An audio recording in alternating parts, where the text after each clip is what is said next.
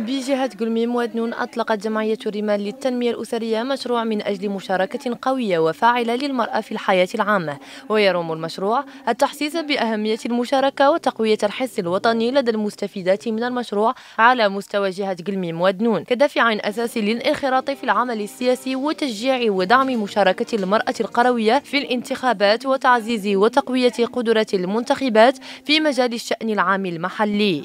رأينا أننا في المشروع بالضبط أننا نركزوا على تقوية تقوية قدرات ديال النساء سواء نساء منتخبات من جميع الحساسيات أو لا منتميات أو مشروع منتخبات أو فاعلات مدنيات. تنتظر أنهم يكونوا إن شاء الله يعني أيضا منتخبات مقبلات. يعني آه، كل النساء اللي يمكن أنهم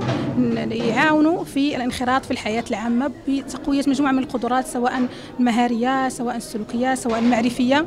وركزنا على يعني أن كل الجهات أقاليم ديال الجهات استافدوا سواء عندنا دورة تكونية في قليميم عندنا في وعندنا أيضا في إقليم طنطان وفي إقليم سيدي إفني. المشروع يتكون من محورين أساسيين يهم الأول تقوية قدرات النساء في مجال تدبير الشأن المحلي من خلال دورات تكوينية بكل أقاليم الجهة ويروم الثاني التبادل من خلال تنظيم زيارات تبادل التجارب خارج الجهة لا سيما لجهة سوس ماسة ودرعة فيلات والعيون ساقية الحمراء وكذا إعداد دليل للتكوين. وهذا المشروع يدخل في إطار صندوق الدعم لتشجيع تمثيلية النساء برسم